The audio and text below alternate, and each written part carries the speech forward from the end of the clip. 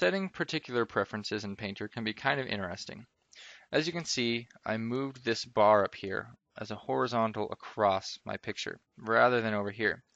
It actually didn't fit as you could see on some of the other videos and I actually prefer it up here especially when I'm doing longer work and I just kind of want to be able to make my pen go as far as it can. Um, I can double tap this and this or if you have it set to a drawer you can do that.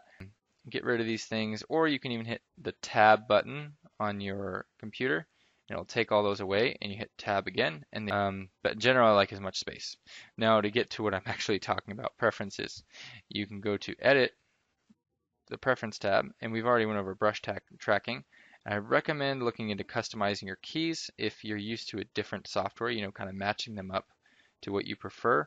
Um, but let's go over to our interface here and let's go down this in the cursor type it's generally set on enhanced brush ghost but as you saw, maybe you noticed just previously, um, I was on Brush Ghost, which is much different. It actually uh, doesn't show me over here, but this is kind of a simplified version. It just shows me a shape of the dab of the brush that I'm using.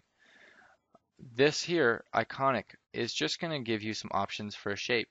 This little uh, torus is a little circle, or you can have a little paintbrush and there's no cursor that is like a circ, you know, a general what you've seen earlier or a brush dab. This is just one um, consistent shape that you know doesn't change in size or or uh, you know doesn't have a tilt or anything. Or you can choose a single pixel if you're very confident in where your stroke is going to land. I kind of use this actually when I'm painting live or giving demonstrations. People don't really like to see that big cursor when it's on a projector, I can usually see the pixel pretty well.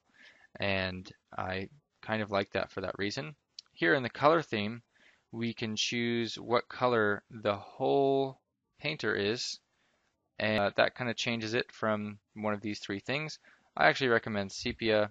I like that because it's a nice light brown. Or you can hit this uh, brush icons is just a different feature.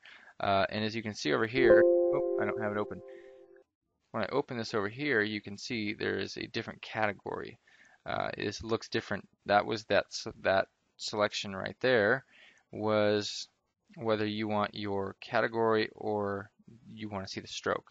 And that can be pretty useful because if you want more brushes and you need more room, I actually recommend to see your stroke because even if I have five different chalks out, they are all going to look the same versus seeing their individual stroke and seeing what they're going to do. Um, this single document view, I have it on right now. As you can see, there's no white bar going across down here or up here. Um, that is not by default. The default is actually to have that bar that you can um, grab the slider and move across your image. I don't really like having that on there. I think it loses some uh, theatrical feel to your work.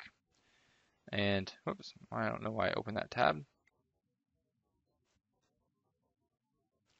And then, you know, again, to go back up here, if it doesn't fit over here, I recommend just making it go horizontally across. I'm using a Cintiq 12WX, which is quite old, and so this doesn't fit very well on the screen since it Painter's made for bigger screens at this. And that's kind of it. You can play with the media layout or the uh, command bar layout.